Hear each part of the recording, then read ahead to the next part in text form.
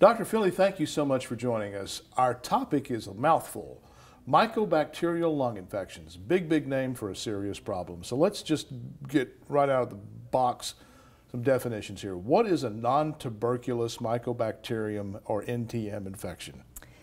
And non-tuberculous mycobacteria are in the same family as tuberculosis, which many of us have heard of, and it's been a common problem around the world um, a decreasing problem actually in the United States, but non-tuberculous mycobacteria are in the same family. They're just not contagious.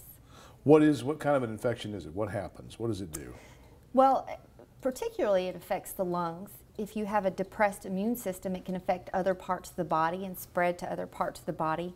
But typically, pulmonary or lung non-tuberculous mycobacteria affects the lung and is an infection that causes lung damage and symptoms. What causes it? Well, the mycobacteria itself is found in the environment, so it's in the soil and in the water. And so we inhale this mycobacteria, it sets up shop in our lung tissue and is a very slow growing infection that causes problems over time. In, our, um, in most people's cases, our immune system deals with it? Most people with an intact immune system, meaning their immune system functions well, um, may have a transient infection, may not notice it at all. But in certain hosts or in certain humans, these infections actually cause quite a bit of problems. In many of these patients, we actually don't understand why that's the case. You touched on this a moment ago. Is the infection caused by NTM limited to just lungs? It is not as if, if you have, again, if your immune system is working or intact, then the, the infection usually is just found in the lungs. And we actually see two types of individuals or patients that uh, have this type of lung disease. Usually those that have smoked for many years and have lung tissue that's been damaged by the effects of cigarette smoking. And then there's a second type of individual um, that's quite a bit more interesting in my personal opinion, and those are elderly women that are usually thin, usually of Caucasian descent, usually postmenopausal, that for unclear reasons have these types of infections. And usually these women cough for many, many, many years before seeking medical advice at the right place to identify what um, infection is causing their trouble. You touched on this just a second ago, but let's color it up a little bit. Are there common risk factors for developing NTM? Who gets this disease? There are people that get this disease with genetic risk factors, things such as cystic fibrosis, um, other types of genetic conditions that are quite a bit more rare. There are other allergic components. Again, I touched on the fact that people that smoke cigarettes can have this disease, and then there's many individuals that get this we don't understand, and we term that idiopathic. And those specifically are the women that I was speaking of earlier. Why is it called non-tuberculous mycobacterium? Is, is this disease contagious? Those are great questions. Non-tuberculous mycobacterium belong to a family of, um, again, uh, bacteria that are kind of cousins or in the same family as tuberculosis. So we've chosen to lump them as tuberculosis, which is a contagious health, a public health threat, and then the non-tuberculous mycobacteria are typically thought of as not contagious. There's over 150 different types of species, so you can imagine studying this can become quite complicated, many of which, fortunately, do not cause true infection in humans.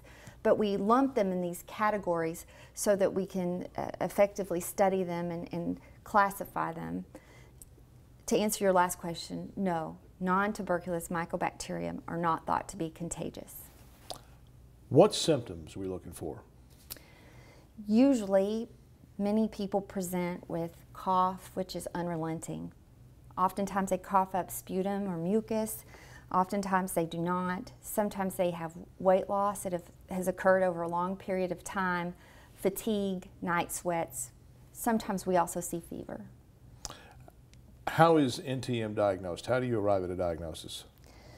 Usually the patients I see have come to me with a diagnosis after many years, but the way that we diagnose it is through a sputum culture. So you would cough up mucus into a container. We look at that under a microscope and grow it in the lab, and that's how we identify these types of infections. Also often people have characteristic changes on either a chest x-ray or a CAT scan of their lungs that can also give us clues as to the diagnosis. Armed with a diagnosis, how do you treat it?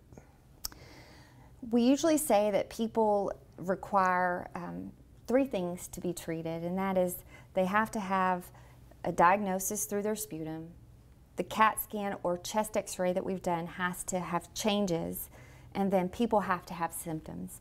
And when those three things are in place, we treat these infections typically with three antibiotics given at least 18 to 24 months. So it's quite a long treatment process. At the end of all this, will the treatment cure the infection?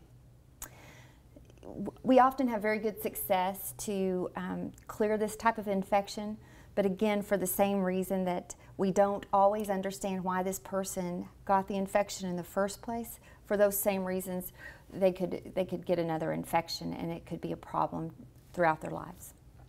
Besides taking antibiotics, if, if they have this, this disease, besides taking antibiotics, what else can a, a patient do to improve symptoms? Well, um, there's, there's some ways to improve symptoms and there's some ways to try to prevent uh, obtaining another infection.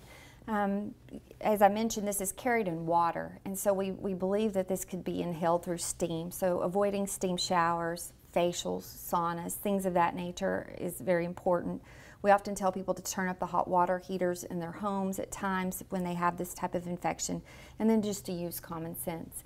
Um, to improve symptoms, usually the antibiotics do help, but again, because it's a slow growing bacteria, it does take many months to actually feel better.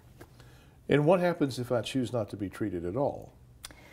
We often do wait or choose not to treat patients. Again, it's according to how they feel and if, if their symptoms warrant, again, the risk of taking antibiotics for a prolonged period of time. So there really is an art to studying this, and that's why I've made it my life's work. Very well. What about just not having the disease at all? Are there steps we can take to prevent getting NTM? Oh, not necessarily. Some of it, we don't understand exactly how, how people get it in the first place or what it is about the human host or the human person themselves that allows the infection to set up shop and, and to sometimes um, cause these types of symptoms. So there's no real way to, to prevent you from getting an infection uh, before you have it. Doctor, I learned a lot and we thank you for your time. Thank you. Appreciate it.